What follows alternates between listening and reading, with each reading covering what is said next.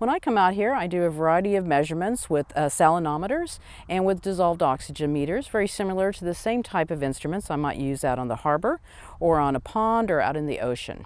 So the differences that we would see chemically for a salt marsh are they're going to be a little bit fresher, certainly more fresh or more fresh water on uh, the uh, when the tide is low and there's less ocean water coming in or less water coming in from the harbor.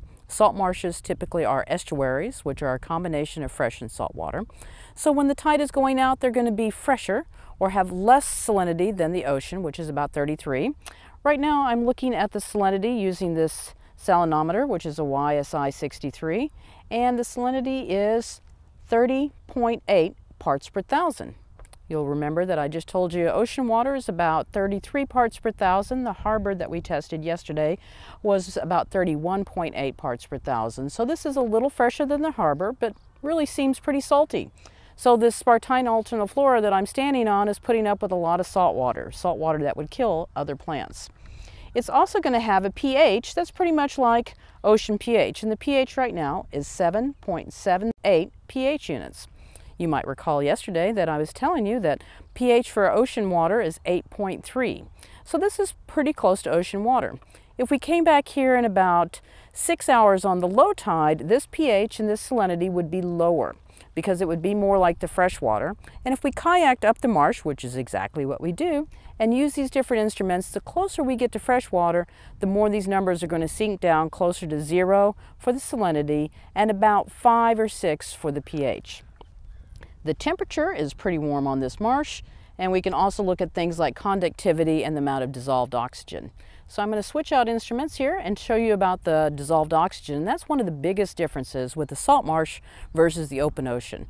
The open ocean is a very oxygenated environment, whereas salt marsh is a very reducing environment, so the dissolved oxygen is going to be less in the salt marsh.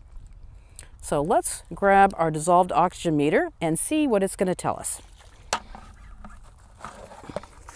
It's our handy dandy YSI Pro ODO that uses optical measurements to tell us what the dissolved oxygen is. This is a lot easier system than the old-fashioned membrane systems that some of you may have struggled with in the past. This basically shoots a beam of light into the water and then that beam of light is transmitted at different speeds based on the amount of dissolved oxygen in it. This thing is easy to stabilize and calibrate and it's something I like using out in the field because it's usually very effective. Now, a lot of the creatures that live here in the salt marsh have to deal with a very reducing environment. This environment is as different as an ox from an oxygenated pond or from the ocean as Mars.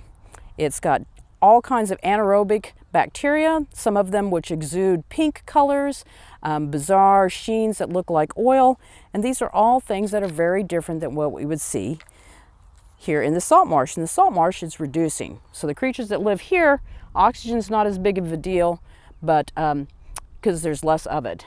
And here I've got about, and I'll turn it around so you can see it, the oxygen is related to the temperature and to the atmospheric pressure. And in this case, I'm in the upper water column and the oxygen is 152%. So it's super saturated from all of the phytoplankton that's growing in the water column. But if I get it down where all that mud is, it's going to be closer to, now it's down to about 52%, closer to the reducing area. So there's a layer of black mud, and as we're walking along in the marsh, if we move our feet, we'll see this black layer of mud immediately under a very thin oxygenated layer. And that black mud smells like sulfur and is producing hydrogen sulfide, which is that rotten egg smell that you smell every time you drive by a marsh.